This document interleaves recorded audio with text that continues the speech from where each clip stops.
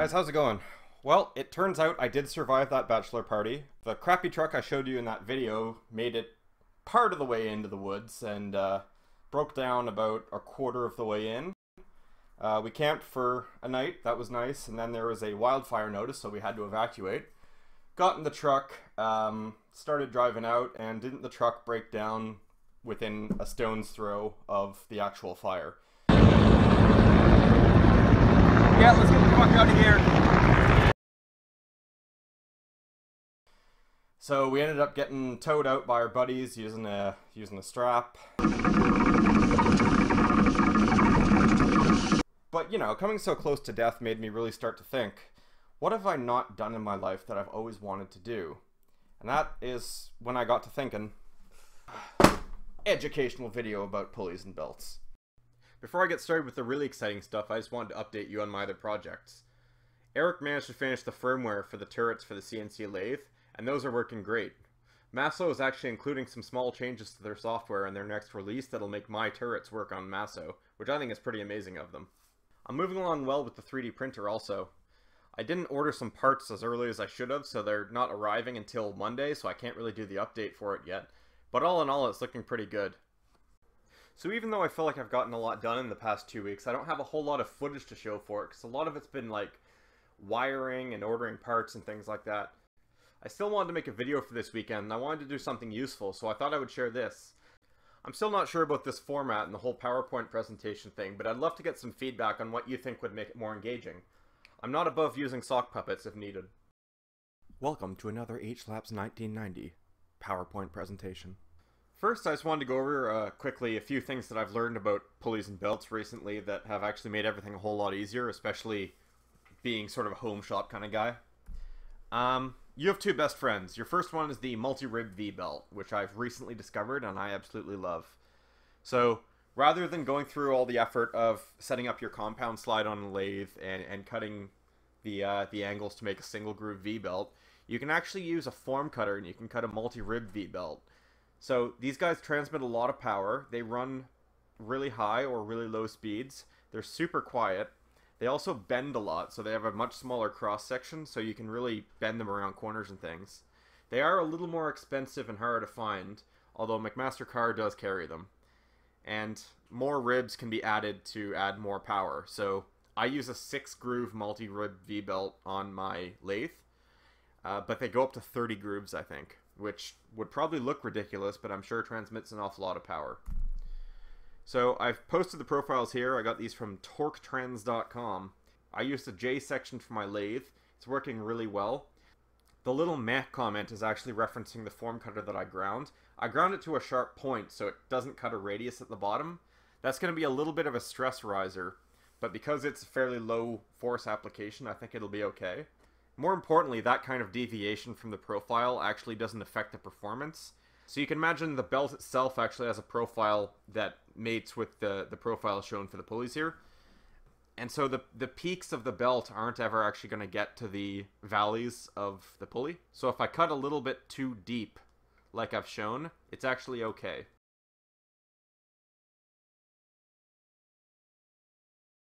The next uh, little trick I've discovered is HTD timing pulleys. HTD timing pulleys stand for high torque drive timing pulleys. They transmit a lot of power, they can run at very high or very low speeds, and they can actually be profiled very easily on a milling machine. So a lot of the other timing pulley profiles have these really intricate profiles and you'd need like a like a 30 second end mill to, to get the profile correctly and then of course you can't go very deep if you're profiling it. So you can actually approximate an HTD timing pulley just by drilling a bunch of holes around the periphery, and then just by interpolating a circle that connects them. Um, that'll leave you a sharp corner, so you actually have to clean the corners up with a file. But it actually does a pretty good job. I've done it for a few projects now, and it worked great. There's a, a YouTube video that I'll, I'll try to remember to reference in the description that shows it being done. Uh, disadvantages is that they're a little bit loud, just like all timing pulleys, and they do have more backlash than the GT2 so it might not make sense to use them for high precision motion control. Nevertheless, it was very useful to, to know that you can do that. So the next thing is something I'm really I'm really nerding out on a bit here is the idea of a capstan drive. So rather than having a belt that fits into a taper on a pulley, you actually just take like a string and you wrap it around the cylinder and the number of times you wrap it around exponentially increases how much force it can hold before the cord will slip. It's a really interesting principle. So, if you were prototyping something and you didn't have pulleys or a belt, you could conceivably make a system just using the capstan equation like this. So I've shown some examples here for how I've seen it used before, like power transmission and uh, sort of a reduction system similar to using pulleys. And uh, if you've ever looked underneath a manual surface grinder, there's actually a capstan with a steel strip that wraps around it once between the two sides of the x-axis. So if you can imagine in the picture, turning that wheel will make the table go back and forth. And I thought that was kind of cool. So there are some definite advantages to capstans.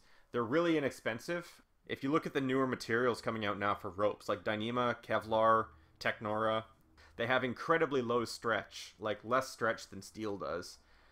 And they're also very strong. So you could easily incorporate something like that into a capstan drive, I think.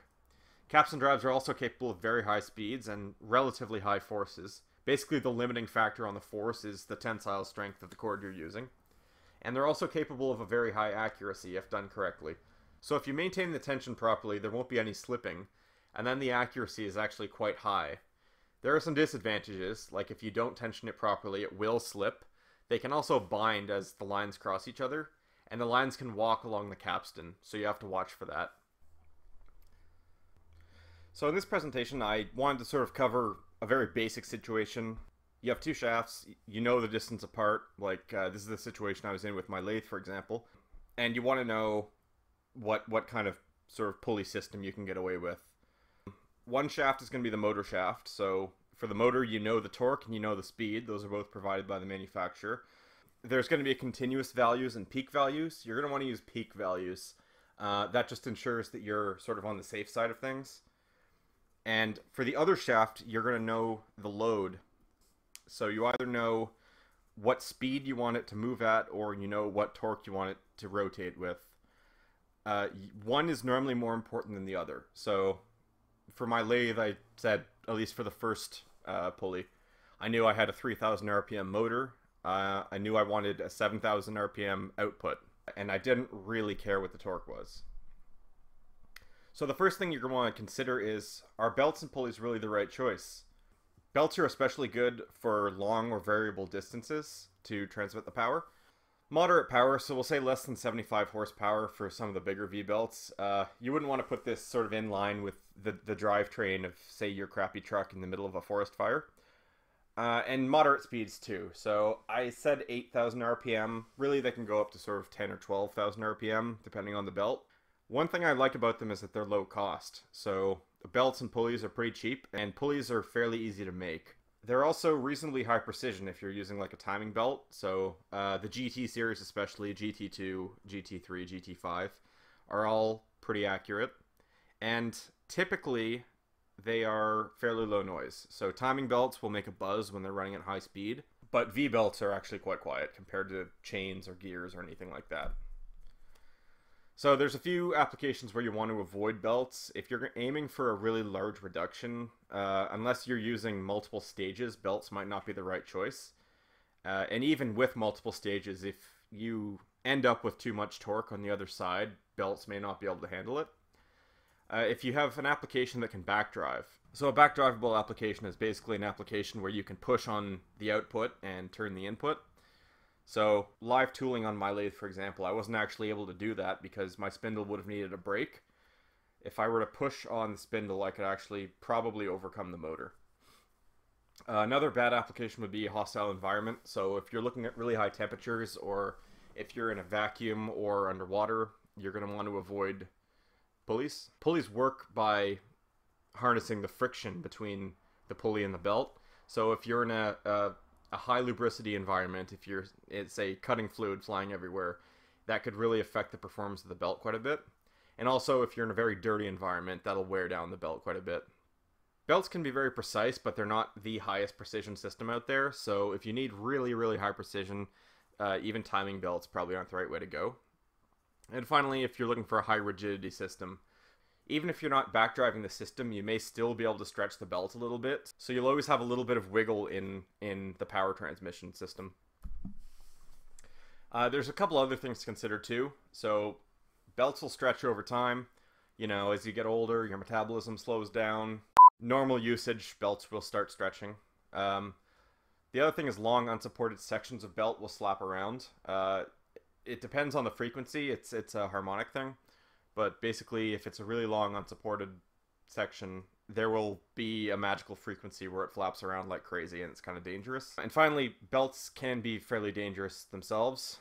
You should always have guards around them, and sometimes when they fail, they they fling off the pulley quite energetically. So you want to be careful about that. So once you've decided that belts are the way to go, you're going to want to calculate the amount of power you need.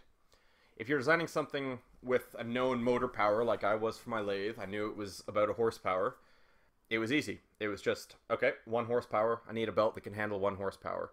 If you're calculating this for like a servo or a stepper motor, where they often won't give you the power, you have to calculate it yourself. Uh, and that's just torque in inch pounds times the speed in RPM divided by 63,000 and 25, which is some ridiculous unit conversion number. So once you have the power, you have to calculate the service factor. Basically, service factor is a fudge factor. Um, like with a lot of mechanical calculations, there's a lot of stuff that you can't predict. So over time, people add in these fudge factors and they sort of experimentally calculate what they are. I like to simplify this factor just using a service factor of 2. And then you're going to want to multiply your service factor by the power to get what's called your design power. Design power is the power that you're designing for. So as you can see, if I have a 1 horsepower motor, multiply it by a service factor of 2, I'm going to design everything as if it were a 2 horsepower system. Reduction is basically just how much speed or torque you want to change between the pulley shafts. For the output shaft, you'll either need a certain speed or you'll need a certain torque. So in my lathe example, I wanted 7,000 RPM. So I needed that, and I didn't care as much what the torque was. If you find yourself needing more torque and more speed, you need a different motor. So belt size is the next thing. Uh, belt suppliers will often provide a graph, and that graph's going to have the horsepower and the belt speed on it, and that'll correspond to different regions on the graph, which are different belt sizes you can use. So if we were doing an example where we know the motor shaft is moving at 1800 RPM, and it's a 10 horsepower motor, we look at this super ugly graph. We go to 20 horsepower because remember it's our safety factor of 2 times 10. And then we're going to go to 1800 RPM, which puts us right there. And then you can see we're in the uh, AAX region. So this is a this graph is from Gates, and they have A size is what I'm used to thinking of, but they also have AX, which I think is a narrow one. Uh, it's basically a belt profile A. So there's some pretty important notes to take away. There's different belt sizes and names. So there's A, B, C, D, and E for V belts, and there's H, J, K, L, M for multi-rib belts. And the other thing, if you look at the previous slide, is that belts are really strong.